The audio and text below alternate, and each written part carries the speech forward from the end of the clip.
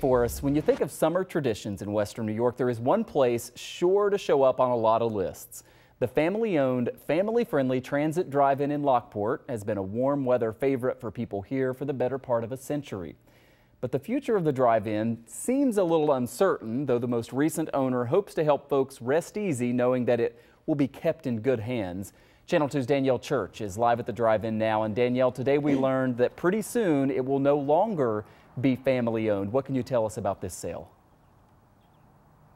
That's right, Michael. So Rick Cohen is the uh, former owner. His family has owned this drive-in for the last three generations, but he is giving it up, well, selling it actually, because he wants to retire, he wants to hike, he just wants to enjoy life outside of working.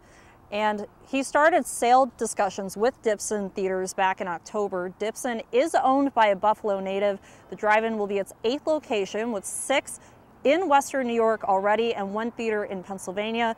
Dipson began managing the transit drive-in when it opened last month.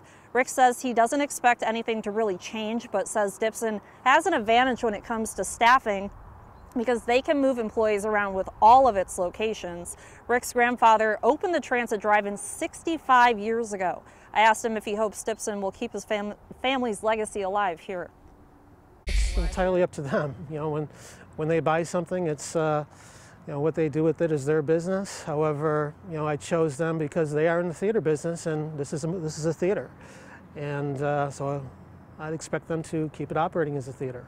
That, but that's entirely up to them and uh, it's better than selling it, uh, selling it to an out-of-town investor or developer that might keep it open for a year or two until they find something better to do with the property. And uh, that's what happens far too often with drive-in theaters is people use them as land banks and investment properties until they have uh, something better to put on them. And drive-in theaters, I think, are important to the community. So Rick wouldn't say exactly how much the drive-in is being sold for, but says he expects the sale to close within the next one to two weeks. Rick also tells me that uh, he actually did receive a few higher offers than the one that Dipson gave him, but says he trusted them the most. Michael. All right, good to know that. So Danielle, Rick says he doesn't expect a whole lot of change, right? I know that he has an emotional connection there, so he wants to make sure that that's the case. Um, but why does he trust Mike and Dipson so much to come in and run this place?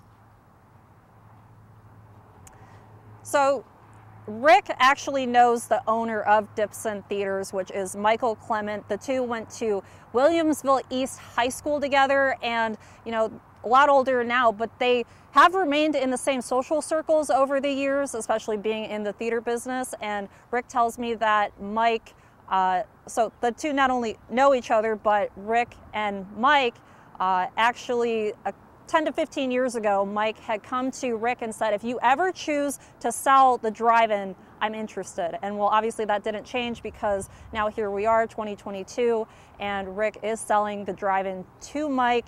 Uh, and again, that deal is expected to close within the next one to two weeks. Interesting that they have that connection. And Danielle will have more on this story tonight at 11. Thank you very much.